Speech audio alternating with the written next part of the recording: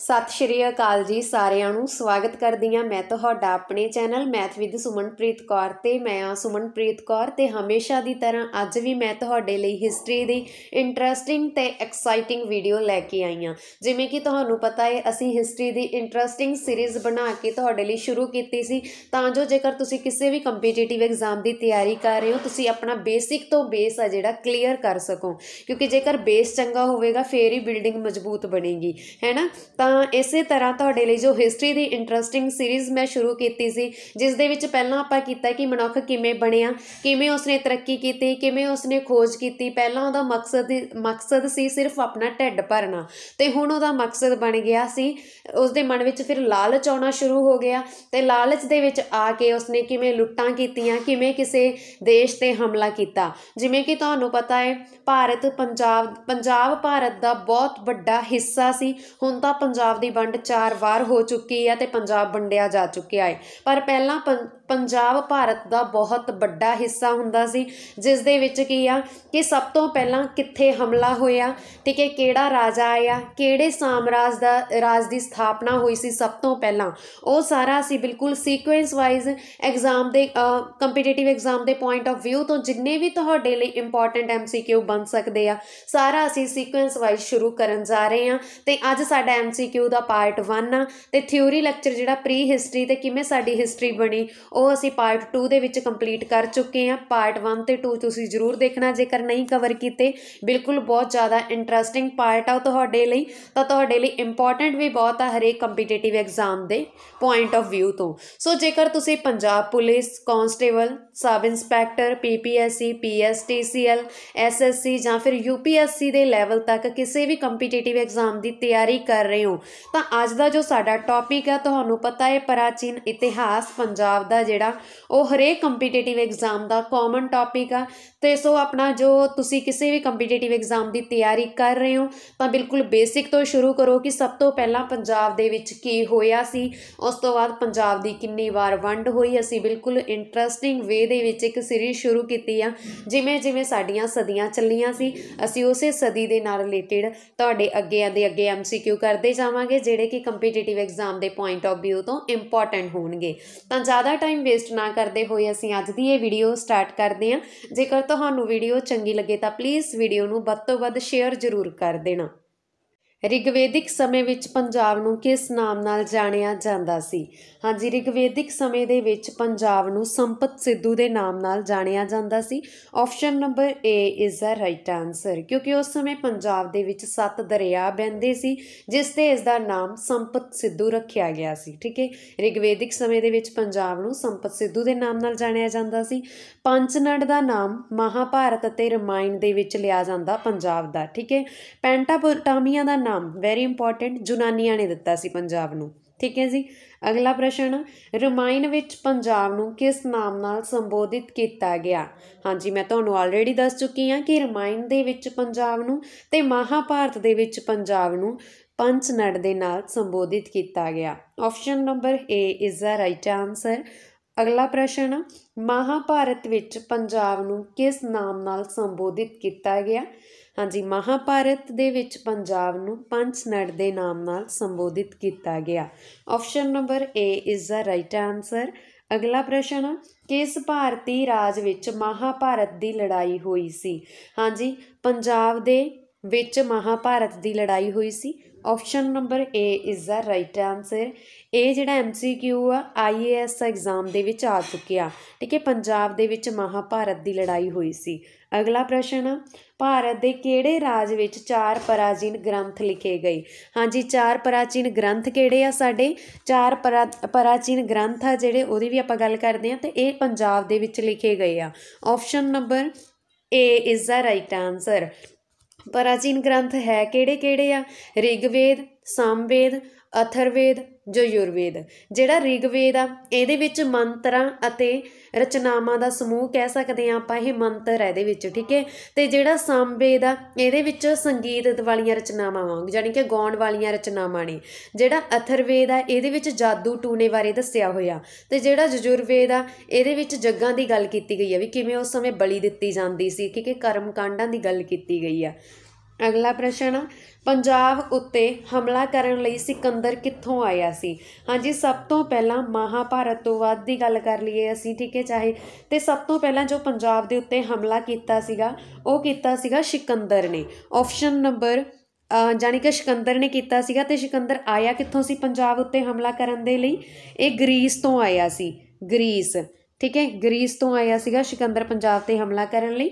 Option number C is the right answer ਅਗਲਾ ਪ੍ਰਸ਼ਨ ਸਿਕੰਦਰ ਨੇ ਪੰਜਾਬ ਉੱਤੇ ਕਿਸ ਸਦੀ ਵਿੱਚ ਹਮਲਾ ਕੀਤਾ? ਹਾਂਜੀ, ਸਿਕੰਦਰ, ਦੇਖੋ ਸਿਕੰਦਰ ਨਾ ਇੱਕ ਬਹੁਤ ਸ਼ਕਤੀਸ਼ਾਲੀ ਰਾਜਾ ਸੀ। ਇਹ ਜਦੋਂ ਹਮਲਾ ਕਰ ਰਿਹਾ ਸੀ, ਕੋਈ ਵੀ ਰਾਜਾ ਇਸ ਦਾ ਸਾਹਮਣਾ ਨਹੀਂ ਕਰ ਪਾਇਆ। ਜਿਸ ਸਮੇਂ ਇਸ ਨੇ ਪੰਜਾਬ ਉੱਤੇ ਹਮਲਾ ਕੀਤਾ, ਇਹ ਇੰਨਾ ਸ਼ਕਤੀਸ਼ਾਲੀ ਸੀ ਕਿ ਜਿਹੜੇ ਜਿਹੜੇ ਰਾਜ ਉੱਤੇ ਇਹਨੇ ਹਮਲਾ ਕੀਤਾ, ਉੱਥੋਂ ਦੇ ਰਾਜੇ ਆਪ ਹੀ ਇਹਨੂੰ ਆਪਣਾ ਰਾਜ ਭਾਗ ਸੰਭਾਲ ਦਿੰਦੇ ਸੀ। ਪਰ ਜਿਸ ਸਮੇਂ ਇਸ ਨੇ ਪੰਜਾਬ ਤੇ ਹਮਲਾ ਕੀਤਾ, ਉਸ ਸਮੇਂ ਪੰਜਾਬ ਦਾ ਜੋ ਰਾਜਾ ਸੀ, ਉਹ ਸੀ ਪੋਰਸ। ਪੋਰਸ ਨੇ ਜੋ ਪੋਰਸ ਇੱਕ ਰਾਜਾ ਹੋਣ ਦੇ ਨਾਲ ਨਾਲ ਉਹ ਆਪਣੇ ਆਪ ਨੂੰ ਮਤਲਬ ਰਾਜੇ ਦਾ ਜੋ ਦਰਜਾ ਸੀਗਾ, ਉਹ ਸਮਝਦਾ ਸੀ ਕਿ ਇੱਕ ਰਾਜੇ ਨੂੰ ਕੀ ਕਰਨਾ ਚਾਹੀਦਾ।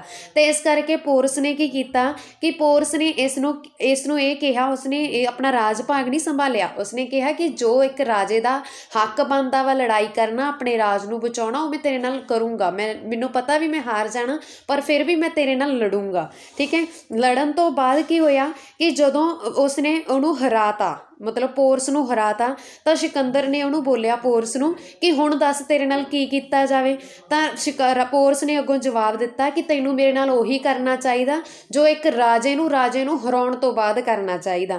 ਤਾਂ ਇਹ ਸੁਣ ਕੇ ਸਿਕੰਦਰ ਆ ਜਿਹੜਾ ਬਹੁਤ ਜ਼ਿਆਦਾ ਪ੍ਰਭਾਵਿਤ ਹੋਇਆ ਪੋਰਸ ਦੀਆਂ ਗੱਲਾਂ ਤੋਂ, ਤਾਂ ਉਹਨੇ ਕੀ ਕੀਤਾ ਕਿ ਪੋਰਸ ਨੂੰ ਜਿਹੜਾ ਆਪਣਾ ਰਾਜ ਭਾਗ ਆ ਪੰਜਾਬ, ਉਹ ਵਾਪਸ ਕਰ ਦਿੱਤਾ ਤੇ ਆਪਣਾ ਜਿਹੜਾ ਪੰਜਾਬ ਦੇ ਵਿੱਚ ਪ੍ਰਤੀਨਿਧ ਚੁਣ ਦਿੱਤਾ ਪੋਰਸ ਨੂੰ। ਠੀਕ ਹੈ? ਇਹ ਸੀਗਾ ਇੱਕ ਫੇਮਸ ਸਾਡੀ ਹਿਸਟਰੀ ਜਿਹੜੀ ਇਹ ਲੜਾਈ ਹੋਈ ਸੀ ਸਿਕੰਦਰ ਅਤੇ ਪੋਰਸ ਦੇ ਵਿਚਕਾਰ ਇਸ ਦਾ ਨਾਮ ਆ ਹਾਈਡੋਸਪਸ ਦੀ ਲੜਾਈ। ਠੀਕ ਹੈ? ਹੁਣ ਅੱਗੇ ਅਸੀਂ ਕਰਦੇ ਹਾਂ ਐਮਸੀਕਿਊ ਜਿਹੜੇ ਕਿ ਸਿਕੰਦਰ ਨਾਲ ਰਿਲੇਟਡ ਹੋਣਗੇ ਤੇ ਉਮੀਦ ਕਰਦੀ ਹਾਂ ਕਿ ਇਹਨਾਂ ਦੇ ਆਨਸਰ ਹੁਣ ਤੁਸੀਂ ਆਪ ਦਵੋਗੇ। ਜੇਕਰ ਤੁਸੀਂ ਮੇਰੀ ਇਸ ਗੱਲ ਨੂੰ ਧਿਆਨ ਨਾਲ ਸੁਣਿਆ ਹੈ ਤਾਂ। ਠੀਕ ਹੈ? ਸਿਕੰਦਰ ਨੇ ਪੰਜਾਬ ਉੱਤੇ ਕਿਸ ਸਦੀ ਵਿੱਚ ਹਮਲਾ ਕੀਤਾ ਸੀ। ਸਿਕੰਦਰ ਨੇ ਪੰਜਾਬ ਦੇ ਉੱਤੇ ਚੌਥੀ ਚੌਥੀ ਸਦੀ ਦੇ ਵਿੱਚ ਹਮਲਾ ਕੀਤਾ ਸੀ, ਠੀਕ ਹੈ?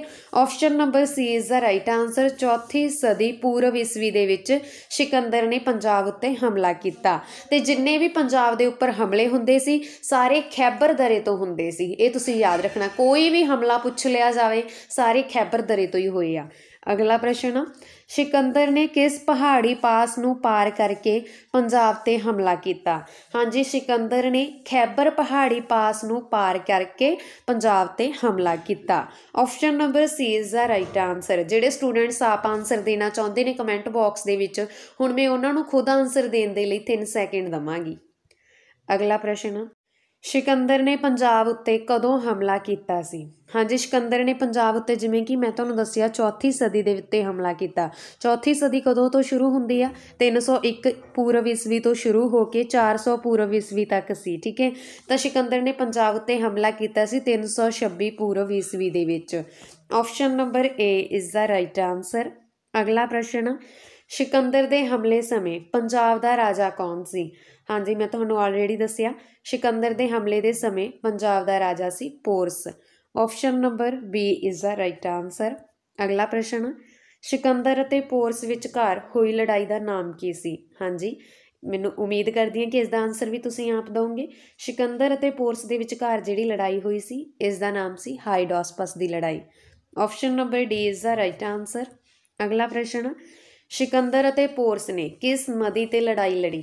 ਹਾਂਜੀ, ਸਿਕੰਦਰ ਅਤੇ ਪੋਰਸ ਨੇ ਜਿਹੜੀ ਲੜਾਈ ਲੜੀ ਸੀ, ਇਹ ਜਹਿਲਮ ਨਦੀ ਤੇ ਲੜੀ ਸੀ। Option number D is the right answer ਅਗਲਾ ਪ੍ਰਸ਼ਨ ਆ, ਸਿਕੰਦਰ ਪੰਜਾਬ ਦੀ ਕਿਹੜੀ ਨਦੀ ਤੋਂ ਵਾਪਸ ਮੁੜਿਆ?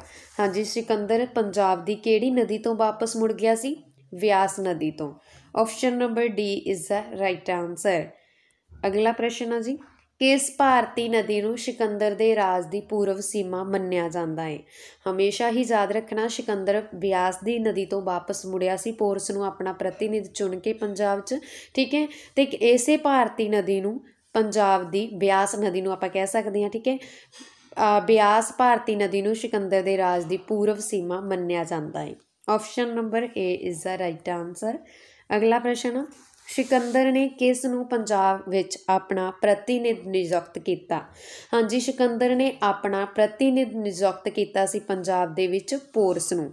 Option number C is the right answer ਦੇਖੋ, ਜਦੋਂ ਫਿਰ ਪੋਰਸ ਦਾ ਰਾਜ ਹੋ ਗਿਆ, ਜਾਂ ਕਹਿ ਸਕਦੇ ਆ ਆਪਾਂ ਪੰਜਾਬ ਪੋਰਸ ਦੇ ਅਧੀਨ ਸੀ, ਤਾਂ ਸਿਕੰਦਰ ਤੋਂ ਬਾਅਦ ਫਿਰ ਉਸ ਤੋਂ ਬਾਅਦ ਸਾਡੇ ਤੇ ਹਮਲਾ ਕੀਤਾ ਪੰਜਾਬ ਤੇ ਚੰਦਰਗੁਪਤ ਮੌਰੀਆ ਨੇ। ਚੰਦਰਗੁਪਤ ਮੌਰੀਆ ਨੇ ਪੋਰਸ ਨੂੰ ਹਰਾ ਕੇ ਪੰਜਾਬ ਉੱਤੇ ਆਪਣਾ ਜਿਹੜਾ ਅਧਿਕਾਰ ਜਮਾ ਲਿਆ ਅਤੇ ਸਭ ਤੋਂ ਪਹਿਲਾ ਰਾਜ ਸਾਮਰਾਜ ਸਥਾਪਿਤ ਕੀਤਾ ਸੀਗਾ। ਚੰਦਰਗੁਪਤ ਮੌਰੀਆ ਨੇ ਮੌਰੀਆ ਸਾਮਰਾਜ। ਤਾਂ ਇਹ ਭਾਰਤੀ ਇਤਿਹਾਸ ਦੇ ਵਿੱਚ ਚੌਥੀ ਸਤਾਬਦੀ ਦੇ ਆਖਰੀ ਚੌਥਾਈ ਹਿੱਸੇ ਦੇ ਵਿੱਚ ਆਪਾਂ ਕਹਿ ਸਕਦੇ ਹਾਂ। ਠੀਕ ਹੈ ਲਾਸਟ ਜੇ ਤੇ ਜਾ ਕੇ ਜਦੋਂ ਚੰਦਰਗੁਪਤ ਮੌਰੀਆ ਨੇ ਹਮਲਾ ਕੀਤਾ ਸੀ ਪੰਜਾਬ ਤੇ ਭਾਰਤੀ ਇਤਿਹਾਸ ਵਿੱਚ ਪਹਿਲੇ ਸਾਮਰਾਜ ਦੀ ਸਥਾਪਨਾ ਹੋਈ ਸੀ ਫਿਰ ਮੌਰੀਆ ਸਾਮਰਾਜ ਦੀ। ਤਾਂ ਇਸਨੇ ਮੌਰੀਆ ਸਾਮਰਾਜ ਸਥਾਪਿਤ ਕਰ ਦਿੱਤਾ ਸੀ ਪੰਜਾਬ ਦੇ ਵਿੱਚ, ਠੀਕ ਹੈ? ਇਹ ਹੁਣ ਤੁਸੀਂ ਯਾਦ ਰੱਖਣਾ। ਤਾਂ ਅਗਲਾ ਪ੍ਰਸ਼ਨ ਅਸੀਂ ਕਰਦੇ ਹਾਂ, ਚੰਦਰਗੁਪਤ ਮੌਰੀਆ ਨੇ ਸਿਕੰਦਰ ਦੀ ਵਾਪਸੀ ਤੋਂ ਬਾਅਦ ਪੰਜਾਬ ਤੇ ਕਦੋਂ ਹਮਲਾ ਕੀਤਾ ਸੀ? ਹਾਂਜੀ, ਚੰਦਰਗੁਪਤ ਮੌਰੀਆ ਨੇ ਸਿਕੰਦਰ ਦੀ ਵਾਪਸੀ ਤੋਂ ਬਾਅਦ ਹਮਲਾ ਕੀਤਾ ਸੀ 324 ਪੂਰਵ ਈਸਵੀ ਦੇ ਵਿੱਚ। Option number B is the right answer ਅਗਲਾ ਪ੍ਰਸ਼ਨ। ਹਾਂਜੀ। ਅੱਗੇ ਫਿਰ ਉਸ ਤੋਂ ਬਾਅਦ ਜੇਕਰ ਅਸੀਂ ਗੱਲ ਕਰੀਏ ਮੌਰੀਆ ਸਾਮਰਾਜ, ਠੀਕ ਹੈ? ਚੰਦਰਗੁਪਤ ਮੌਰੀਆ ਨੇ ਆਪਣਾ ਅਧਿਕਾਰ ਜਮਾ ਲਿਆ। ਮੌਰੀਆ ਤੋਂ ਬਾਅਦ ਇਸ ਦਾ ਪੁੱਤਰ ਸੀਗਾ ਬਿੰਦੂਸਾਰ, ਠੀਕ ਹੈ? ਚੰਦਰਗੁਪਤ ਦੀ ਮੌਤ ਤੋਂ ਬਾਅਦ ਇਸ ਦਾ ਪੁੱਤਰ ਬਿੰਦੂਸਾਰ ਸਿੰਘਾਸਨ ਤੇ ਬੈਠਾ। ਇਹ ਉਸ ਮੌਰੀਆ ਸਾਮਰਾਜ ਦਾ ਸੀ, ਠੀਕ ਹੈ? ਉਸ ਤੋਂ ਬਾਅਦ ਬਿੰਦੂਸਾਰ ਮਗਰੋਂ ਇੱਕ ਤਾਕਤਵਰ ਰਾਜਾ ਆਇਆ ਸੀ, ਅਸ਼ੋਕ। ਉਹ ਭਾਰਤ ਦਾ ਸਭ ਤੋਂ ਸੂਰਵੀਰ ਰਾਜਾ ਮੰਨਿਆ ਜਾਂਦਾ ਸੀ। ਤਾਂ ਉਸ ਨੇ ਹਮਲਾ ਕਰਕੇ ਜਿਹੜਾ ਪੰਜਾਬ ਆ, ਉਹ ਆਪਣੇ ਅਧੀਨ ਲੈ ਲਿਆ, ਠੀਕ ਹੈ? ਤੇ ਉਹਨੇ ਜਿਹੜਾ ਸਾਮਰਾਜ ਸੀ ਉਸ ਸਮੇਂ, ਅਸ਼ੋਕਾ ਤੋਂ ਬਾਅਦ ਜਿਹੜੇ ਕਮਜ਼ੋਰ ਰਾਜੇ ਆਏ, ਫਿਰ ਠੀਕ ਹੈ, ਉਹਨਾਂ ਨੇ ਮੌਰੀਆ ਸਾਮਰਾਜ ਦਾ ਅੰਤ ਕਰ ਦਿੱਤਾ ਸੀ। ਠੀਕ ਹੈ ਜੀ, ਅਸ਼ੋਕ ਵੀ ਮੌਰੀਆ ਸਾਮਰਾਜ ਦੇ ਵਿੱਚ ਹੀ ਸੀ, ਜਿਹੜੀ ਕਲਿੰਗਾ ਦੀ ਲੜਾਈ ਹੋਈ ਸੀ, ਤੁਸੀਂ ਸੁਣਿਆ ਹੋਣਾ, ਉਹ ਅਸ਼ੋਕ ਦੇ ਨਾਲ ਸੰਬੰਧਿਤ ਸੀ। ਠੀਕ ਹੈ ਇਸ ਗੱਲ ਦਾ ਤੁਸੀਂ ਧਿਆਨ ਰੱਖਣਾ। ਪਰ ਅਸ਼ੋਕ ਨੇ ਜਦੋਂ ਕਲਿੰਗਾ ਦੀ ਲੜਾਈ ਦੇ ਵਿੱਚ ਇੰਨੇ ਲੋਕ ਮਾਰੇ ਗਏ, ਜ਼ਖਮੀ ਹੋਏ ਦੇਖੇ, ਤਾਂ ਉਹਨੇ ਜਿਹੜਾ ਮਤਲਬ ਆਪਦੀ ਜੀਵਨ ਦੇ ਵਿੱਚ ਥੋੜਾ ਮੋੜ ਲਿਆਉਣਾ ਸੋਚਿਆ। ਉਹਨੇ ਕੀ ਕੀਤਾ ਕਿ ਬੁੱਧ ਧਰਮ ਅਪਣਾ ਲਿਆ, ਠੀਕ ਹੈ? ਬੁੱਧ ਧਰਮ ਅਪਣਾ ਲਿਆ, ਭਲਾਈ ਕਰਨੀ ਸ਼ੁਰੂ ਕਰ ਦਿੱਤੀ। ਉਸ ਤੋਂ ਬਾਅਦ ਕੋਈ ਹੋਰ ਰਾਜੇ ਆ ਗਏ। ਉਹਨਾਂ ਨੇ ਮੌਰੀਆ ਸਾਮਰਾਜ ਦਾ ਅੰਤ ਕਰ ਦਿੱਤਾ ਸੀ, ਠੀਕ ਹੈ? ਉਸ ਤੋਂ ਬਾਅਦ ਆਇਆ ਸੰਗ ਸੁੰਗ ਵੰਸ਼, ਫਿਰ ਯੂਨਾਨੀ ਵੰਸ਼ ਆਇਆ। ਫਿਰ ਸ਼ੱਕ ਵੰਸ਼ ਆਇਆ ਫਿਰ ਪਾਰਥੀਅਨ ਵੰਸ਼ ਆਇਆ ਇਹਨਾਂ ਬਾਰੇ ਇੰਪੋਰਟੈਂਟ ਐਮਸੀਕਿਊ ਨਹੀਂ ਐਗਜ਼ਾਮ ਦੇ ਵਿੱਚ ਪੁੱਛੇ ਜਾਂਦੇ, ਤਾਂ ਇਸ ਕਰਕੇ ਮੈਂ ਐਡ ਨਹੀਂ ਕੀਤੇ। ਉਸ ਤੋਂ ਬਾਅਦ ਆਇਆ ਸੀ ਕੁਸ਼ਾਣ ਵੰਸ਼ ਠੀਕ ਹੈ, ਕੁਸ਼ਾਣ ਸਾਮਰਾਟ ਕਹਿ ਸਕਦੇ ਆ ਜਿਨ ਕੁਨਿਸ਼ਕਾ, ਤਾਂ ਕੁਸ਼ਾਣ ਵੰਸ਼ ਆ ਗਿਆ ਸੀਗਾ। ਤੇ ਹੁਣ ਅਸੀਂ ਗੱਲ ਕਰਦੇ ਹਾਂ ਇਨਾਂ ਤੇ। ਕੁਸ਼ਾਣ ਸਾਮਰਾਟ ਕਨਿਸ਼ਕ ਨੇ ਚੌਥਾ ਬੁੱਧ ਪਰਿਸ਼ਦ ਕਿਸ ਸ਼ਹਿਰ ਵਿੱਚ ਨਿਯੋਜਿਤ ਕੀਤਾ? ਤਾਂ ਇਹਨਾਂ ਨੇ ਕੀਤਾ ਸੀ ਕਸ਼ਮੀਰ ਦੇ ਵਿੱਚ। Option number D is the right answer ਅਗਲਾ ਪ੍ਰਸ਼ਨ, ਪ੍ਰਾਚੀਨ ਪੰਜਾਬ ਵਿੱਚ ਹਿੰਦੂ ਸ਼ਾਹੀ ਖਾਨਦਾਨ ਦਾ ਸੰਸਥਾਪਕ ਕੌਣ ਸੀ? ਦੇਖੋ, ਆਪਣੇ ਨੋਟਸ ਬਣਾ ਲਓ, ਹੁਣ ਤੁਹਾਡਾ ਸਿਲੇਬਸ ਸਟਾਰਟ ਹੋਇਆ ਵਾ, ਫਿਰ ਅੱਗੇ ਜਾ ਕੇ ਬਹੁਤ ਔਖਾ ਹੋ ਜਾਂਦਾ। ਆਪਣੀ ਲੈਂਗੁਏਜ ਦੇ ਵਿੱਚ ਨੋਟਸ ਬਣਾ ਕੇ ਲਿਖੋਗੇ ਨਾ, ਤਾਂ ਜਦੋਂ ਵੀ ਕਿਸੇ ਪੇਪਰ ਦੀ ਤੁਸੀਂ ਤਿਆਰੀ ਕਰਨੀ ਹੈ ਜਾਂ ਪੇਪਰ ਤੋਂ ਇੱਕ ਦਿਨ ਪਹਿਲਾਂ ਜਾਣ ਤੋਂ ਪਹਿਲਾਂ, ਉਹਦੇ ਵਿੱਚ ਨਿਗਾਹ ਮਾਰਦੇ ਜਾਣਾ, ਠੀਕ ਹੈ? ਮਤਲਬ ਕਿ ਉਹਦੇ ਵਿੱਚ ਉਹਨੂੰ ਰਿਵੀ ਆਪਾਂ ਕਹਿ ਸਕਦੇ ਹਾਂ ਉਹਦੀ ਰਿਵੀਜ਼ਨ ਕਰ ਲੈਣਾ, ਠੀਕ ਹੈ ਜੀ? ਤਾਂ ਇਸ ਤਰ੍ਹਾਂ ਤੁਹਾਨੂੰ ਮਤਲਬ ਕਿ ਬਹੁਤ ਜ਼ਿਆਦਾ ਆਸਾਨੀ ਹੋਊਗੀ, ਜੇਕਰ ਤੁਸੀਂ ਹੁਣ ਤੋਂ ਹੀ ਨਾਲ ਦੀ ਨਾਲ ਨੋਟਸ ਬਣਾ ਲਓਗੇ। ਪ੍ਰਾਚੀਨ ਪੰਜਾਬ ਵਿੱਚ ਹਿੰਦੂ ਸ਼ਾਹੀ ਖਾਨਦਾਨ ਦਾ ਸੰਸਥਾਪਕ ਸੰਸਥਾਪਕ ਕੌਣ ਸੀ। ਇਹ ਐਮਸੀਕਿਊ ਪੀਪੀਐਸਸੀ 2009 ਦੇ ਵਿੱਚ ਆ ਚੁੱਕਿਆ ਹੈ। ਪ੍ਰਾਚੀਨ ਪੰਜਾਬ ਦੇ ਵਿੱਚ ਹਿੰਦੂ ਸ਼ਾਹੀ ਖਾਨਦਾਨ ਦਾ ਸੰਸਥਾਪਕ ਸੀ Lalia ਬ੍ਰਹਮਣ option number B is the right answer ਅਗਲਾ ਪ੍ਰਸ਼ਨ ਆ ਪ੍ਰਾਚੀਨ ਪੰਜਾਬ ਵਿੱਚ ਕਿਹੜਾ ਸ਼ਹਿਰ ਬੌਧ ਸੱਭਿਆਚਾਰ ਦਾ ਪ੍ਰਮੁੱਖ ਕੇਂਦਰ ਸੀ? ਹਾਂਜੀ, ਪ੍ਰਾਚੀਨ ਕਾ ਪੰਜਾਬ ਦੇ ਵਿੱਚ ਬੌਧ ਸੱਭਿਆਚਾਰ ਦਾ ਪ੍ਰਮੁੱਖ ਕੇਂਦਰ ਸੀ Taxila. Option number B is the right answer ਦੇਖੋ ਜਿਹੜੀ ਤਕਸੀਲਾ ਯੂਨੀਵਰਸਿਟੀ ਸੀ ਨਾ, ਇਹ ਪੰਜਾਬ ਦੇ ਪ੍ਰਾਚੀਨ ਇਤਿਹਾਸ ਦੇ ਵਿੱਚ ਬਹੁਤ ਫੇਮਸ ਯੂਨੀਵਰਸਿਟੀ ਸੀ। ਠੀਕ ਹੈ, ਜਦੋਂ ਵੀ ਪ੍ਰਾਚੀਨ ਇਤਿਹਾਸ ਦੀ ਗੱਲ ਹੋਵੇ ਤਾਂ ਤਕਸੀਲਾ ਯੂਨੀਵਰਸਿਟੀ ਨੂੰ ਕਦੇ ਨਾ ਭੁੱਲਣਾ। ਅਗਲਾ ਪ੍ਰਸ਼ਨ, ਪ੍ਰਾਚੀਨ ਪੰਜਾਬ ਦਾ ਆਕਾਰ ਕਿਸ ਤਰ੍ਹਾਂ ਦਾ ਸੀ? ਦੇਖੋ ਹੁਣ ਪੰਜਾਬ ਦਾ ਜਿਹੜਾ ਆਕਾਰ ਆ, ਉਹ ਕੀ ਆ? ਤਿਕੋਣਾਕਾਰ ਆ। ਠੀਕ ਹੈ? ਪਰ ਇਹ ਹੁਣ ਦਾ ਵਾ, ਹੁਣ ਤਿਕੋਨਾ ਵਾ ਪੰਜਾਬ, ਕਿਉਂਕਿ ਹੁਣ ਚਾਰ ਵਾਰ ਵੰਡ ਹੋ ਚੁੱਕੀ ਆ, ਤਾਂ ਕਿੱਧਰ ਕੋਈ ਹਿੱਸਾ ਕਿੱਧਰ ਨੂੰ ਚਲਿਆ ਗਿਆ, ਕੋਈ ਹਿੱਸਾ ਕਿਸ ਦੇ ਹਿੱਸੇ ਆ ਗਿਆ, ਠੀਕ ਹੈ? ਪਤਾ ਉਸ ਦੇ ਨਾਲੇ ਕੀ ਰਹਿ ਗਿਆ, ਤਿਕੋਨਾ ਰਹਿ ਗਿਆ। ਪਰ ਪ੍ਰਾਚੀਨ ਪੰਜਾਬ ਦਾ ਜੋ ਆਕਾਰ ਸੀ, ਉਹ ਪੂਰਾ ਚੌਰਸ ਸੀ, ਸਕੁਅਰ ਸੀ, ਵੀ ਵਰਗਾਕਾਰ ਸੀ, ਠੀਕ ਹੈ? Option number D is the right answer ਵੀ ਵਰਗਾਕਾਰ ਦੀ ਗੱਲ ਕੀਤੀ ਆ ਮੈਂ।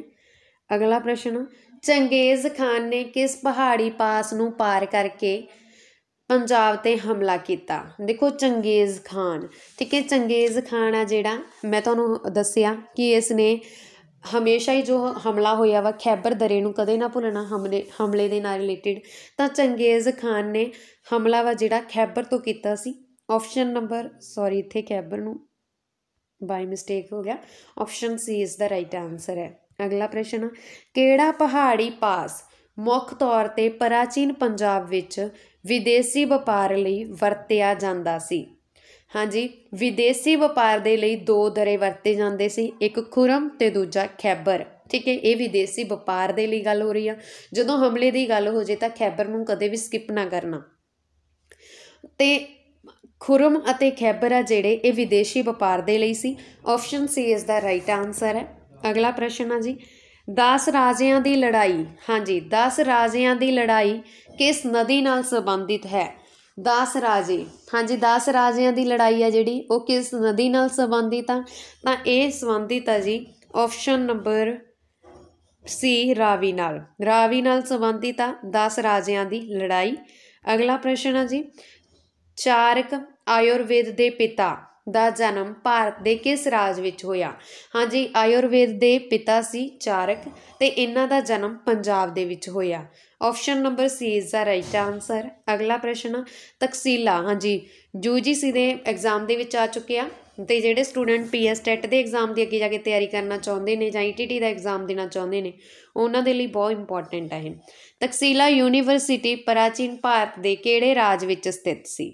ਪੰਜਾਬ ਦੇ ਵਿੱਚ। Option number B is the right answer ਅਗਲਾ ਪ੍ਰਸ਼ਨ ਅਸੀਂ ਕਰਦੇ ਹਾਂ ਜੀ। ਵਿਦੇਸ਼ੀ ਖਾਨਦਾਨਾਂ ਦੇ ਪੰਜਾਬ ਵਿੱਚ ਆਉਣ ਦਾ ਸਹੀ ਕਰਮ ਕੀ ਸੀ? ਹਾਂਜੀ, ਦੇਖੋ ਇਹ ਜੇ ਐਮਸੀਕਿਊ ਬਹੁਤ ਇੰਪੋਰਟੈਂਟ ਆ, ਪੁੱਛੇ ਜਾਂਦੇ ਆ। ਜਿਵੇਂ ਕਿ ਅਸੀਂ ਗੱਲ ਕੀਤੀ ਸੀ, ਸਭ ਤੋਂ ਪਹਿਲਾਂ ਪੰਜਾਬ ਦੇ ਵਿੱਚ ਆਰੀਆ ਆਈ ਸੀ, ਠੀਕ ਹੈ? ਜਦੋਂ ਖੋਜਾਂ ਚੱਲ ਰਹੀਆਂ ਸੀ ਨਾ ਹੜੱਪਾ ਸੱਭਿਅਤਾ ਵਗੈਰਾ ਦੀਆਂ, ਉਸ ਟਾਈਮ ਸਭ ਤੋਂ ਪਹਿਲਾਂ ਆਰੀਆ ਆਏ ਸੀ।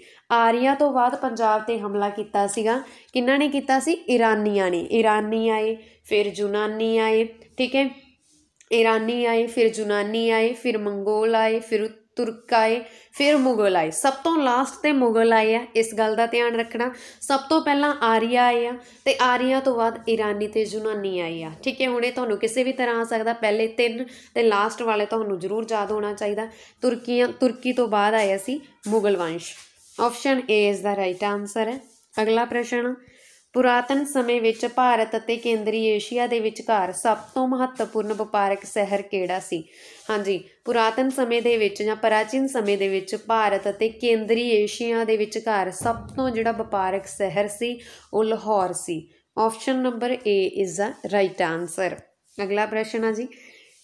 ਹੇਠ ਲਿਖਿਆਂ ਵਿੱਚੋਂ ਕਿਹੜਾ ਪਹਾੜੀ ਪਾਸ ਵਿਦੇਸ਼ੀ ਹਮਲਾਵਰ ਦੁਆਰਾ ਪੰਜਾਬ ਦੇ ਉੱਤਰ ਪੱਛਮ ਵਾਲੇ ਪਾਸਿਓਂ ਆਉਣ ਲਈ ਵਰਤਿਆ ਜਾਂਦਾ ਸੀ। ਹਾਂਜੀ, ਇਹਨਾਂ ਦੇ ਵਿੱਚੋਂ ਖੈਬਰ ਖੈਬਰ ਵਿਦੇਸ਼ੀ ਹਮਲਾਵਰ ਦੁਆਰਾ ਪੰਜਾਬ ਦੇ ਉੱਤਰ ਪੱਛਮ ਵਾਲੇ ਪਾਸਿਓਂ ਆਉਣ ਵਾਲੇ ਹਮਲਿਆਂ ਦੇ ਲਈ ਵਰਤਿਆ ਜਾਂਦਾ ਸੀ ਜਾਂ ਮਤਲਬ ਜਿੰਨੇ ਵੀ ਹਮਲੇ ਹੋਏ ਆ, ਉਹ ਇਸ ਖੈਬਰ ਦਰੇ ਤੋਂ ਹੋਏ ਆ। Option A is the right answer ਹੈ। ਅਗਲਾ ਪ੍ਰਸ਼ਨ, ਪੰਜਾਬ ਦਾ ਇਤਿਹਾਸ ਕਿਸ ਦੌਰ ਤੋਂ ਸ਼ੁਰੂ ਹੁੰਦਾ ਹੈ?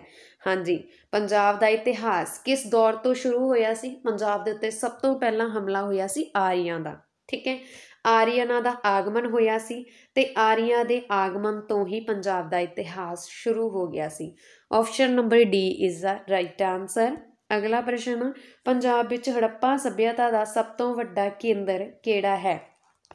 ਪੰਜਾਬ ਦੇ ਵਿੱਚ ਜਿਹੜੀ ਹੜੱਪਾ ਸੱਭਿਅਤਾ ਆਈ ਸੀ ਨਾ, ਤੇ ਇਸ ਦੇ ਸਭ ਤੋਂ ਪਹਿਲਾਂ ਇਹਦੇ ਵਿੱਚ ਜੋ ਫੇਮਸ ਸੀਗਾ, ਉਹ ਸੀਗਾ ਸੰਗੋਲ। ਠੀਕ ਹੈ, ਸੰਗੋਲ ਸਭ ਤੋਂ ਵੱਡਾ ਕੇਂਦਰ ਸੀ। ਆਪਸ਼ਨ ਡੀ ਇਸ ਦਾ ਰਾਈਟ ਆਨਸਰ ਹੈ ਸੰਗੋਲ ਸੰਗੋਲ ਵਿੱਚ ਜਿੰਨੀਆਂ ਵੀ ਖੁਦਾਈਆਂ ਹੋਈਆਂ ਸੀ, ਉਹ ਪੁਰਾਤਨ ਹੜੱਪਾ ਸੱਭਿਅਤਾ ਲਈ ਇੱਥੇ ਹੀ ਮਤਲਬ ਕਿ ਸਭ ਤੋਂ ਵਧੀਆ ਜੋ ਕਹਿ ਸਕਦੇ ਆ ਆਪਾਂ, ਇੱਥੋਂ ਸਭ ਤੋਂ ਵਧੀਆ ਚੀਜ਼ਾਂ ਮਿਲੀਆਂ ਸੀ, ਜਿਵੇਂ ਬਰਤਨ, ਤਾਂਬੇ ਦੀਆਂ ਚੀਜ਼ਾਂ, ਕਾਫੀ ਹੱਦ ਤੱਕ ਇਹ ਰੂਪਨਗਰ ਅਤੇ ਚੰਡੀਗੜ੍ਹ ਦੇ ਵਿੱਚ ਮਿਲੀਆਂ ਹੋਈਆਂ। ਕਹਿ ਸਕਦੇ ਆ ਮੇਲ ਖਾਂਦੀਆਂ ਸੀ, ਮਤਲਬ ਕਿ ਰੂਪਗੜ੍ਹ ਰੂਪਨਗਰ ਅਤੇ ਚੰਡੀਗੜ੍ਹ ਦੇ ਵਿੱਚ ਜਿਹੜੀਆਂ ਮਿਲੀਆਂ ਸੀਗੀਆਂ। ਤੇ ਇਸ ਕਰਕੇ ਪੰਜਾਬ ਦੇ ਵਿੱਚ ਜਿਹੜਾ ਹੜੱਪਾ ਹੜੱਪਾ ਸੱਭਿਅਤਾ ਦਾ ਸਭ ਤੋਂ ਵੱਡਾ ਕੇਂਦਰ ਮਿਲਿਆ ਸੀ, ਉਹ ਸੀ ਸੰਗੋਲ, ਠੀਕ ਹੈ? ਪੰਜਾਬ ਦੇ ਵਿੱਚ ਆਪਾਂ ਕਹਿ ਸਕਦੇ ਆ ਉਸ ਤੋਂ ਬਾਅਦ ਇੱਕ ਹੈਗਾ ਸਨੇਤ, ਇਹ ਜ਼ਿਲ੍ਹਾ ਲੁਧਿਆਣਾ ਦੇ ਵਿੱਚ ਪੈਂਦਾ ਵਾ। ਤੇ ਇਹਦੇ ਵਿੱਚੋਂ ਵੀ ਖੁਦਾਈ ਕਰਨ ਸਮੇਂ ਕਾਫੀ ਹੜੱਪਾ ਸੱਭਿਅਤਾ ਨਾਲ ਜੁੜੀਆਂ ਹੋਈਆਂ ਚੀਜ਼ਾਂ ਮਿਲੀਆਂ ਸੀਗੀਆਂ, ਜਿਵੇਂ ਸਿੱਕੇ ਬਣਾਉਣ ਵਾਲੇ ਸਾਂਚੇ ਮਿਲੇ ਸੀ। ਮਨੁੱਖ ਅਤੇ ਜੀਬਾਂ ਦੀਆਂ ਲਾਖ ਦੀਆਂ ਮੂਰਤੀਆਂ ਮਿਲੀਆਂ ਸੀਗੀਆਂ, ਠੀਕ ਹੈ, ਹੋਰ ਵੀ ਕਾਫੀ ਕੁਝ ਮਿਲਿਆ ਸੀ। ਅਗਲਾ ਪ੍ਰਸ਼ਨ, ਸੰਗੋਲ ਕਿਸ ਜਗ੍ਹਾ ਨਾਲ ਸੰਬੰਧਿਤ ਹੈ ਹੜੱਪਾ ਸਭਿਅਤਾ ਨਾਲ। Option number B is the right answer ਅਗਲਾ ਪ੍ਰਸ਼ਨ ਹੈ ਜੀ, ਭਾਰਤ ਦਾ ਪਹਿਲਾ ਰਾਜ ਕਿਹੜਾ ਸੀ, ਜਿਸ ਤੇ ਹੁਣ ਕੁਸ਼ਾਨ ਯੂਨਾਨੀ ਅਤੇ ਮੰਗੋਲ ਦੁਆਰਾ ਹਮਲਾ ਕੀਤਾ ਗਿਆ? ਹਾਂਜੀ, ਕੁਸ਼ਾਨ, ਯੂਨਾਨੀ ਅਤੇ ਮੰਗੋਲ। ਕਿਹੜੇ ਰਾਜ ਨਾਲ ਸੰਬੰਧਿਤ ਆ? ਪੰਜਾਬ ਨਾਲ। Option B is the right answer ਹੈ। ਅਗਲਾ ਪ੍ਰਸ਼ਨ ਨਿਮਨ ਲਿਖਤ ਵਿੱਚੋਂ ਪੰਜਾਬ ਦੀ ਕਿਹੜੀ ਥਾਂ ਸਿੱਧੂ ਘਾਟੀ ਦੀ ਸੱਭਿਅਤਾ ਨਾਲ ਸੰਬੰਧਿਤ ਨਹੀਂਗੀ? ਹਾਂਜੀ, ਸਿੱਧੂ ਘਾਟੀ ਦੀ ਸੱਭਿਅਤਾ ਨਾਲ ਪੰਜਾਬ ਦੇ ਦੇਖੋ ਰੂਪਨਗਰ। ਪੰਜਾਬ ਦੇ, ਮੈਂ ਤੁਹਾਨੂੰ ਸਾਰੇ ਦੱਸ ਦਿੰਨੀ ਆ ਜਿਹੜੇ ਸ਼ਹਿਰ ਸੀਗੇ ਪੰਜਾਬ ਦੇ ਫੇਮਸ ਜਿਹੜੇ ਸਿੱਧੂ ਘਾਟੀ ਨਾਲ ਸੰਬੰਧਿਤ ਆ, ਉਸ ਤੋਂ ਬਿਨਾ ਜਿਹੜੇ ਵੀ ਤੁਹਾਨੂੰ ਆ ਗਏ, ਉਹ ਤੁਸੀਂ ਆਪਣੇ ਆਪ ਆਨਸਰ ਦੇ ਸਕਦੇ ਹੋ, ਕਿਉਂਕਿ ਜ਼ਰੂਰੀ ਤਾਂ ਨਹੀਂ ਉੱਥੇ ਇਹੀ ਚਾਰ ਆਪਸ਼ਨ ਆਉਣ ਕੁਝ ਵੀ ਆ ਸਕਦਾ। ਪੰਜਾਬ ਦਾ ਰੂਪਨਗਰ, ਕੋਟਲਾ, ਨਿਹੰਗ ਖਾਂ, ਧੀਰ, ਮਾਜ਼ਰਾ 12 ਇਹ ਰੂਪਨਗਰ ਦੇ ਵਿੱਚ ਹੀ ਪੈਂਦੇ ਆ ਤਿੰਨੇ ਜ਼ਿਲ੍ਹੇ ਜਿਹੜੇ ਮੈਂ ਤੁਹਾਨੂੰ ਦੱਸੇ ਆ, ਫਿਰ ਰੋਹਿੜਾ ਇਹ ਸੰਗਰੂਰ ਦੇ ਵਿੱਚ ਪੈਂਦਾ, ਫਿਰ ਸੰਗੋਲ, ਇਹ ਫਤਿਹਗੜ੍ਹ ਸਾਹਿਬ ਦੇ ਵਿੱਚ ਪੈਂਦਾ, ਫਿਰ ਸਨੇਤ, ਇਹ ਲੁਧਿਆਣਾ ਦੇ ਵਿੱਚ ਪੈਂਦਾ। ਇਹ ਸਾਰੇ ਜਿਹੜੇ ਸੱਤ ਸੀਗੇ, ਇਹ ਹੜੱਪਾ ਸੱਭਿਅਤਾ ਨਾਲ ਸੰਬੰਧਿਤ ਸੀਗੇ, ਜਗ੍ਹਾ। ਠੀਕ ਹੈ, ਤਾਂ ਇਹਨਾਂ ਦੇ ਵਿੱਚੋਂ ਜਿਹੜਾ ਰੰਗਪੁਰਾ, ਇਹ ਪੰਜਾਬ ਦੇ ਹੜੱਪਾ ਸੱਭਿਅਤਾ ਨਾਲ ਸੰਬੰਧਿਤ ਨਹੀਂਗਾ। ਆਪਸ਼ਨ ਬੀ ਇਸ ਦਾ ਰਾਈਟ ਆਨਸਰ ਹੈ। ਅਗਲਾ ਪ੍ਰਸ਼ਨ ਮਹਾਭਾਰਤ ਦੇ ਲਿਖੇ ਜਾਣ ਸਮੇਂ ਪੰਜਾਬ ਕਿਸ ਨਾਮ ਨਾਲ ਜਾਣਿਆ ਜਾਂਦਾ ਸੀ? ਸੰਪਤ ਸਿੱਧੂ ਨਾਲ। ਆਪਸ਼ਨ ਬੀ ਇਸ ਦਾ ਰਾਈਟ ਆਨਸਰ ਹੈ। ਅਗਲਾ ਪ੍ਰਸ਼ਨ ਆ ਜੀ। ਹੇਠ ਲਿਖਿਆਂ ਵਿੱਚੋਂ ਕਿਹੜੇ ਮਹਾਜਨ ਪਦ ਪੰਜਾਬ ਖੇਤਰ ਦੇ ਅਧੀਨ ਆਉਂਦੇ ਹਨ? ਹਾਂਜੀ, ਪੰਜਾਬ ਖੇਤਰ ਦੇ ਅਧੀਨ ਕਿਹੜੇ ਮਹਾਜਨ ਪਦ ਆਉਂਦੇ ਆ? ਕੰਬੋਜਾ ਗੰਦਾਰ ਜਾਨੀ ਕਿ ਆਪਸ਼ਨ ਡੀ ਇਸ ਦਾ ਰਾਈਟ ਆਨਸਰ ਹੈ ਉਪਰੋਕਤ ਨਹੀਂ sorry option B is the right answer ਹੈ, ਸਿਰਫ 1 ਅਤੇ 2 1 ਅਤੇ 2 ਹੀ ਆ ਜਿਹੜੇ ਪੰਜਾਬ ਦੇ ਅਧੀਨ ਆਉਂਦੇ ਆ। ਅਗਲਾ ਪ੍ਰਸ਼ਨ ਆ, ਪੰਜਾਬ ਖੇਤਰ ਦੇ ਕਿਸ ਪ੍ਰਾਚੀਨ ਸਾਮਰਾਜ ਦੁਆਰਾ ਸ਼ਾਸਨ ਨਹੀਂ ਕੀਤਾ ਗਿਆ ਸੀ? ਹਾਂਜੀ, ਉਹ ਕਿਹੜਾ ਰਾਜਾ ਵਾ ਇਹਨਾਂ ਦੇ ਵਿੱਚੋਂ? ਜਾਂ ਆਪਾਂ ਕਹਿ ਸਕਦੇ ਆ ਕਿਹੜਾ ਸਾਮਰਾਜ ਆ ਜਿਨੇ ਪੰਜਾਬ ਦੇ ਉੱਤੇ ਹਮਲਾ ਨਹੀਂ ਕੀਤਾ ਸੀ? ਤਾਂ ਇਹ ਸੀ Pandey. Option B is the right answer ਹੈ। ਪਾਂਡਿਆਂ ਨੇ ਪੰਜਾਬ ਦੇ ਉੱਤੇ ਆਪਣਾ ਸਾਮਰਾਜ ਆ ਜਿਹੜਾ, ਉਹ ਨਹੀਂ ਸਥਾਪਿਤ ਕੀਤਾ ਸੀ। ਅਗਲਾ ਪ੍ਰਸ਼ਨ ਮਸ਼ਹੂਰ ਹਾਈਡੋਸਪਸ ਦੀ ਲੜਾਈ ਸਿਕੰਦਰ ਅਤੇ ਕਿਸ ਦੇ ਵਿਚਕਾਰ ਹੋਈ? ਹਾਂਜੀ, ਮਸ਼ਹੂਰ ਹਾਈਡੋਸਪਸ ਦੀ ਲੜਾਈ ਆ ਜਿਹੜੀ।